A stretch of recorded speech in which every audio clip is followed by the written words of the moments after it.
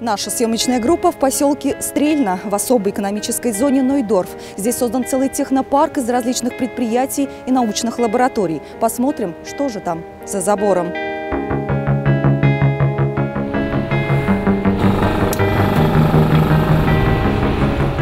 Находимся в биотехнологической компании, где производят то, что может спасти миллионы человеческих жизней – лекарства против рака. Над его созданием трудятся несколько сотен человек – биологи, медики, генетики. Они первыми в России начали делать биологические препараты на основе моноклональных антител, то есть полученных от одной живой клетки. Раньше такие лекарства покупали только за рубежом. Не секрет, что создание любого лекарства очень сложный и трудоемкий процесс. А начинается все с визита в библиотеку.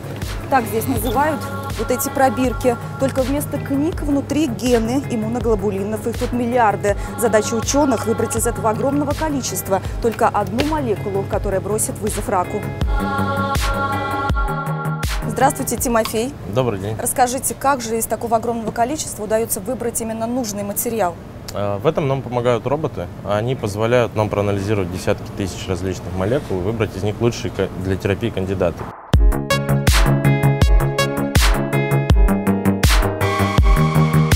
Раньше в мировой фармацевтике нужные антитела искали, перебирая максимальное число случайных кандидатов. И эти ученые сделали поиск более направленным. Они точно знают, какая молекула подойдет для борьбы с опухолью.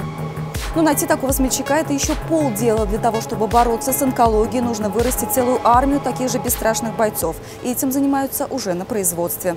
Здесь всегда поддерживается одинаковая температура, а давление и состав воздуха меняются каждые три часа. Процесс создания препаратов тут такой же, как и в лабораториях. Разве что антитела здесь выращивают не в пластиковых колбах, а в гигантских биореакторах. В отличие от традиционной химиотерапии, которая негативно влияет на весь организм, биологические препараты на основе моноклональных антител бьют точно в цель, разрушая только раковые клетки. У такой терапии практически нет побочных эффектов. Впрочем, борется здесь не только с онкологией. Также мишенью являются инфекционные аутоиммунные заболевания от гепатит С. Раньше для борьбы с этим грозным недугом применяли лекарства, которые очень быстро выводились из крови. Здесь же создали препарат, который работает в организме человека дольше и эффективнее. Его нужно принимать всего раз в неделю. Свою роль в этом сыграла правильно подобранная молекула интерферона. Это такой белок, который выделяется клетками организма в ответ на вторжение вируса.